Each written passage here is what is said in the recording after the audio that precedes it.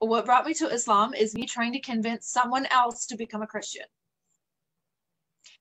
So we see how that turned out. so I was actually I was living in Hollywood at the time and I was a production manager for like TV and film uh, music videos, this and that. I've always thought Muslims are crazy people. You know, I mean, I'm just brainwashed by the news here. And, you know, I didn't know anything about it. I thought they were just doing some like ritual stuff and blah, blah, blah. I didn't know what was going on. And so when I start reading the Quran, I see all these questions that I've had in Christianity for so long. All of them were answered.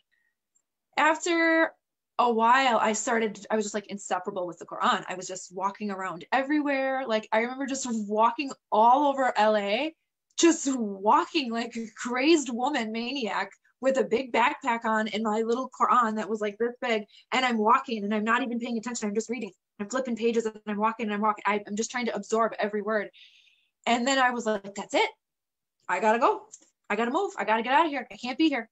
And so I decided to do the obvious choice and sell everything I own, pack one suitcase, and buy a one way ticket to Morocco.